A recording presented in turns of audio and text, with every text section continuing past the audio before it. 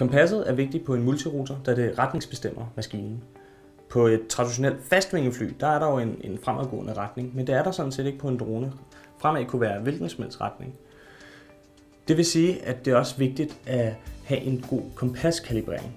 Fordi hvis du ikke har en god kompaskalibrering, jamen så vil fremad, den fremadgående retning være skæv i forhold til hvad fremad egentlig er på din drone.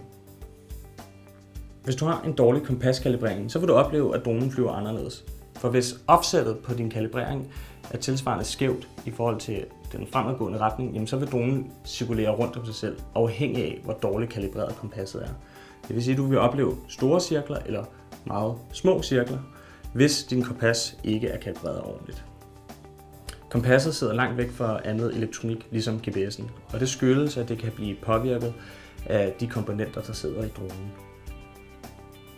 Det er derfor vigtigt, at når du kompaskalibrerer, så gør du det et sted, hvor der ikke er elektrisk støj. Og det gør du for eksempel på en åben mark og ikke foran din computer.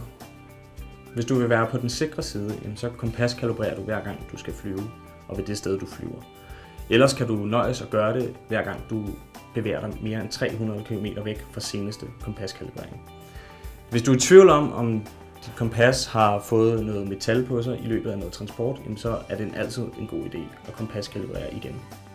Når du kompaskalibrerer din drone, og det kan jo være hver gang du flyver, eller når du har transporteret din drone længere væk, så sikrer det område, du kompaskalibrerer i, så der ikke er nogen køreplader, eller du gør det lige ved siden af en bil, som har en masse metal.